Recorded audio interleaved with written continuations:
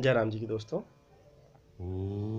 आपका दिन मंगलमय हो शुभ हो प्रभु से ये कामना है जैसा कि पिछली वीडियो में मैंने आपको बताया था कि मैं एक आसान और सरल तरीके से आपको समझाऊँगा कि आप किस तरह से अपने जीवन में परिवर्तन ला सकते हो दिनों के आधार पर। और ये कोई बहुत डिफ़िकल्ट वर्क नहीं है। आप आसानी से साधारण तरीके से अपने जीवन में परिवर्तन ला सकते हो।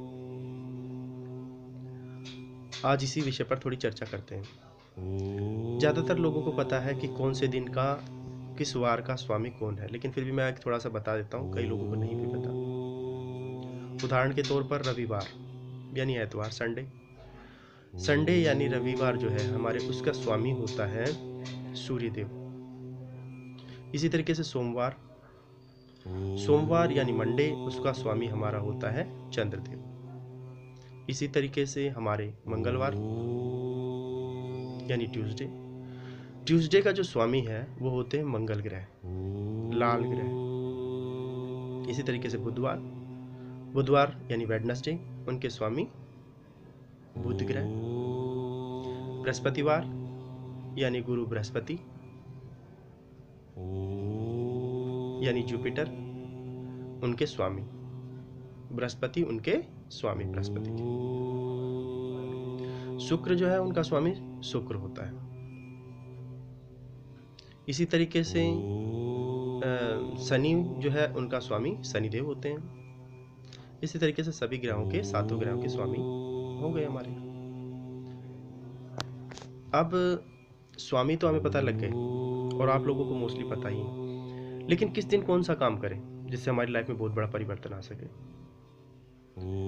उस पर चर्चा करते हैं। उदाहरण के तौर पर मान लिया संडे है। तो संडे यानी एतवार को हमें किस टाइप के काम करने चाहिए ताकि हमारे जीवन में बहुत बड़ा परिवर्तन आ सके? देखो, अगर आप कोई मकान की नींव रखने जा रहे हो तो आप एतवार से आरंभ करो। आप मकान आरंभ कर रहे हो तो भी एतवार से आप मकान आरंभ कीजिए। अगर आप कोई नौकरी आरंभ कर रहे हो मान लिया नौकरी की ज्वाइनिंग करनी है तो आप संडे से आरंभ कीजिए। अब कई लोगों के दिमाग में आएगा संडे को कौन ऑफ़िस जाता है? तो संडे को ऑफ़िस तो नहीं जाते लेकिन अगर आप कोई एग्जामिनेशन फॉर्म भर रहे हो तो वो आप संडे को भर सकते हो। स्थिरता लाती है ये चीज़।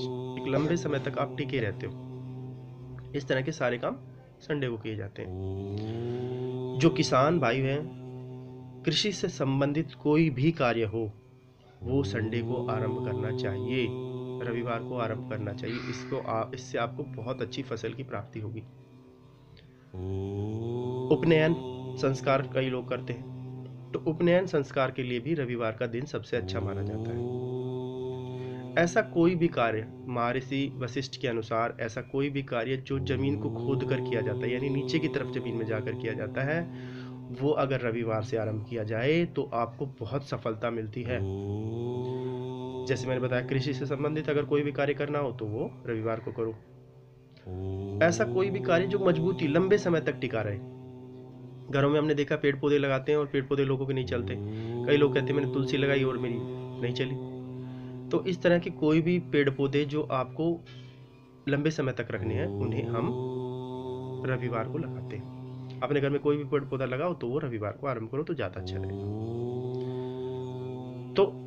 आपको अब अच्छी तरह से समझ में आ गया होगा कि दो चीज़ें बातों का ध्यान रखना, ऐसी चीज़ जो ज़मीन के अंदर खोद कर की जाती हो, या ऐसी चीज़ जो गहराई, लंबे समय तक आपका साथ दे, ऐसी चीज़ जो लंबे समय तक आपका साथ दे। जैसे मकान लंबे समय तक चलता है हमारा। ठीक है? नौकरी, मैं एतवार को क्यों कह रहा हूँ कि फॉर्म भरा जाए?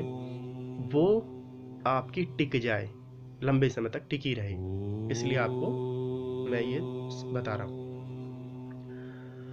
आने वाली वीडियो में हम बात करेंगे कि सोमवार के दिन किस तरह के कार्य किए जाएँ, जो आपके लिए बहुत शुभ होंगे। मैं आपको गारंटी से कहता हूँ, सौ परसेंट गारंटी से कहता हूँ कि जो कार्य मैंने बताया कि रविवार को आरंभ करो, इस तरह के कार्य।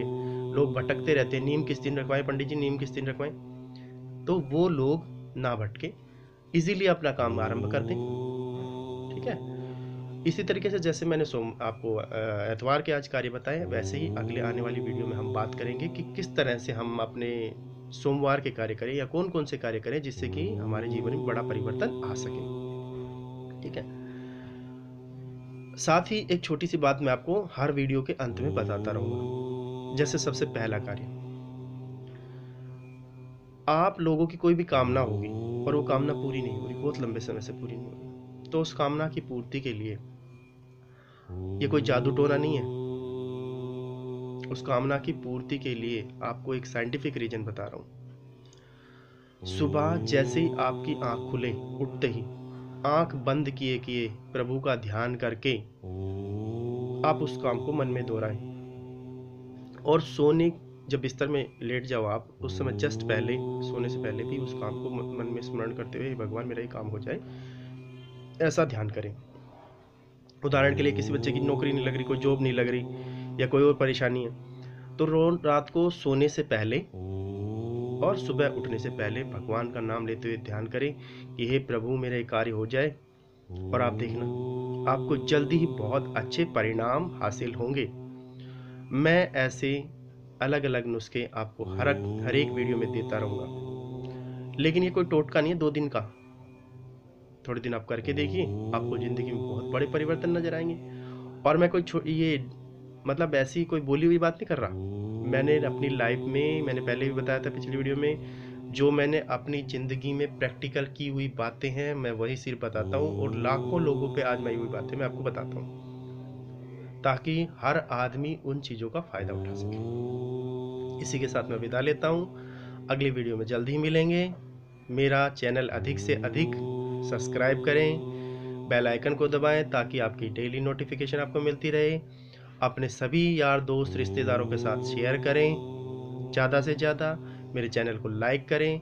यही जितना आप करेंगे, मैं उतनी ही आपको अच्छी वीडियो देता रहूँगा। जितना आप मेरे चैनल को आगे बढ़ाएँगे, आपको डेली बहुत अच्छी अच्छी वीडियो मिलती रहेंगी, जो आपकी ज़िंदगी बदल देंगी। आपको कहीं किसी के पास जाने की ज़रूरत नहीं है। कोई ढोंग ढकोसले किसी तरह के में पढ़ने की ज़रूरत नहीं है। आपको मैं ऐसी ऐसी बातें बताऊँगा जो आपने ना तो कभी सुनी होंगी और ना आपने कभी इस्तेमाल की होंगी। अभी तो शुरुआत है। धीरे धीरे देखो मैं आपको कहाँ लेकर जाता हूँ। लेकिन याद रखें कि अधिक से अधिक मेरे चैनल को शेयर करें ताकि हर आदमी इसका फ़ायदा उठा सके।